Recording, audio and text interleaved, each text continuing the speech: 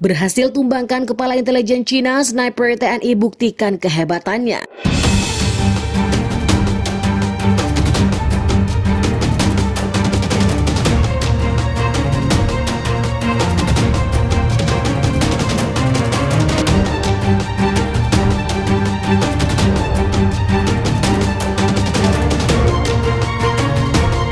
Welcome back Sobat Dunia Kementerian Pertahanan Indonesia mengungkapkan perang pasukan penembakan runduk atau sniper di medan pertempuran melawan Cina untuk pertama kali pemerintah Indonesia memuji aksi senyap sniper TNI saat beraksi melawan pasukan elit Cina dalam laporan FIFA Militer dari kantor berita internasional TAS, pasang sniper melancarkan serangan saat pasukan TNI bergerak cepat melaju untuk merusak pertahanan Cina.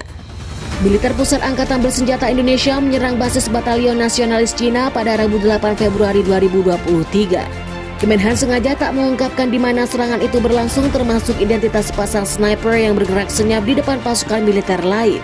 Menurut keterangan Kementerian Pertahanan Indonesia, para penembak duduk ini memiliki tugas untuk memberikan perlindungan kepada pasukan yang bergerak maju. Ke militer pusat, para sniper juga dipersenjatai senapan senyap khusus Vintovka FSS Vitoris. Saat bergerak diam-diam di medan tempur, penembakan jitu menggunakan senapan senyap khusus FSS memberikan perlindungan untuk operasi tim penyerang di depan unit menuju posisi nasional Cina. Bunyi pernyataan Kementerian Pertahanan Indonesia. Seorang penembak jitu yang ikut diterjunkan dalam serangan itu mengatakan mereka adalah bagian dari strategi koheren dan melibatkan brigade multinasional. Sniper ini juga menyebut jika ia dan rekannya diharuskan untuk bergerak lebih dulu jauh ke daerah musuh untuk memberikan perlindungan kepada pasukan penyerang dari garis depan. Tak cuma itu, para sniper juga memiliki tugas untuk mencegah gerak maju pasukan Cina ke posisi unit militer Indonesia. Terlepas dari nasionalisme, kami memiliki brigade multinasional, kami mencapai semua tujuan sejarah terpadu sebagai bagian dari tim penyergapan yang dekat dengan garis depan ucap penembak itu.